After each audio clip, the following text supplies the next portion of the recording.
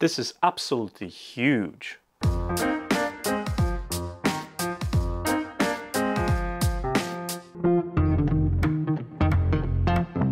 Hey guys, anyone complaining about ITEAD not having high current devices in their selection, well, they can stop right now because this is Sonoff POWR3.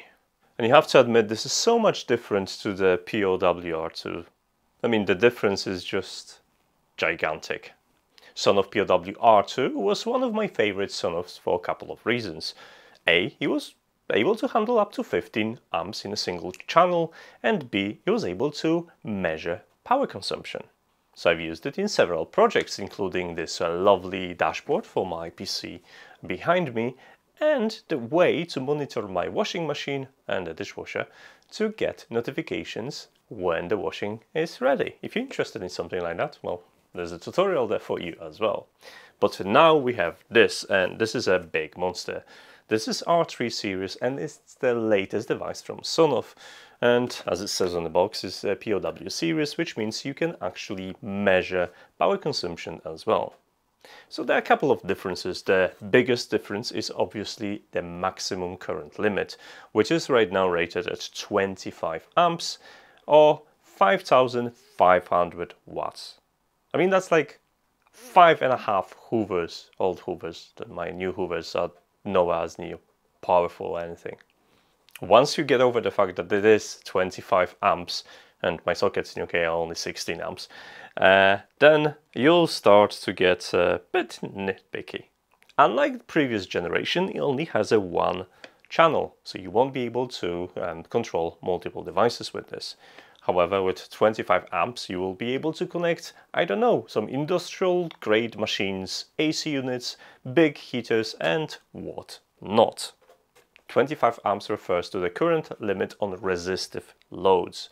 I was not able to find any official information about the inductive loads for motors, etc.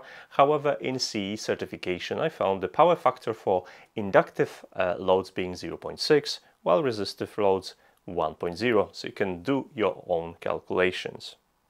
And while on the subject, yes, that's correct, this Sonoff device already comes with FCC, CE and RoHS certifications of the box, so you'll be able to look up the tests and certificates on their website. Very nice. I would like to see that for every Sonoff device moving forward other than huge terminals in a correct number. Thank you very much Sonoff for that. We have two buttons, a reset and a power toggle.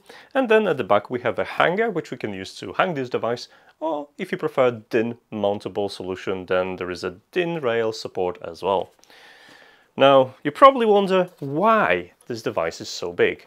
And I've got the answer for you because I have actually opened it up. But before I'm going to look inside and possibly destroy it like one of the Sonoff jewels I did in this video, uh, let's pair it up and check it with eWeLink app.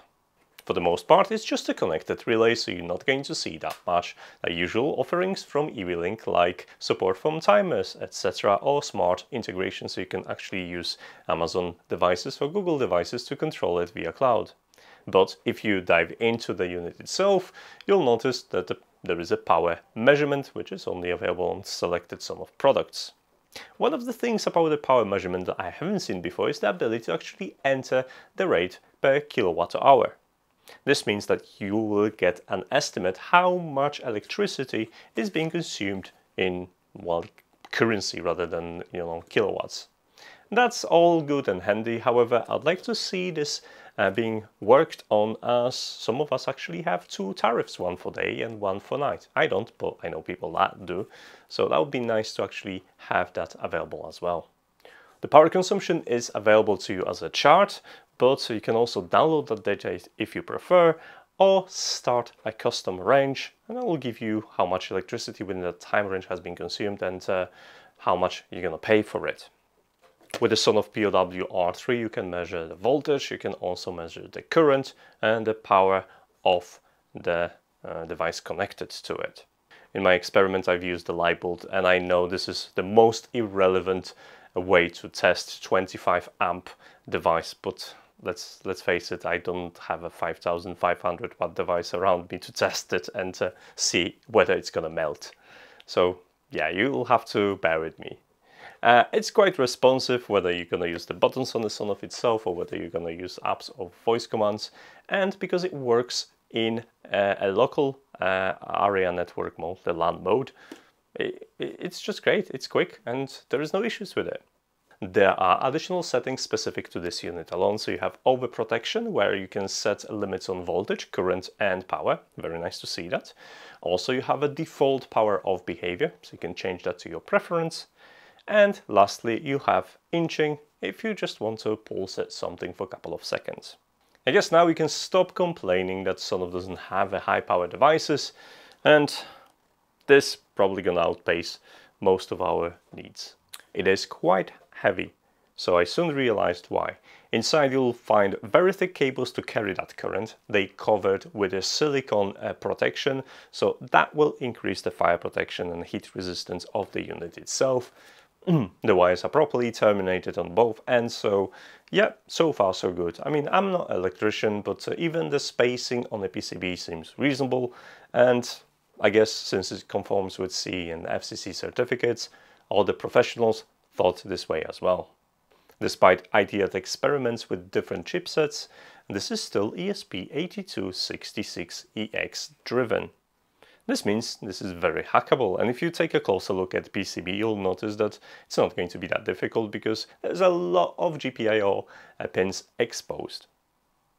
There are dedicated headers that are capable of probably calculating the powers, so if you want to tap to that, you're more than free to do so.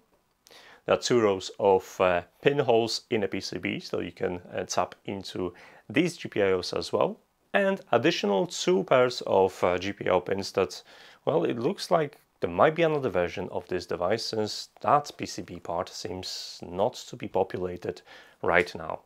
While I didn't find out yet which GPIO is responsible for the relay, I know that GPIO 0, which is needed for flashing, is linked to the power button on this device, so that's gonna be dead easy to flash you probably noticed that there are two different PCBs. Now this small PCB is just a transformer that takes main powers and translate that into a 5 volts and 3.3 volts to power up a relay and the ESP respectively.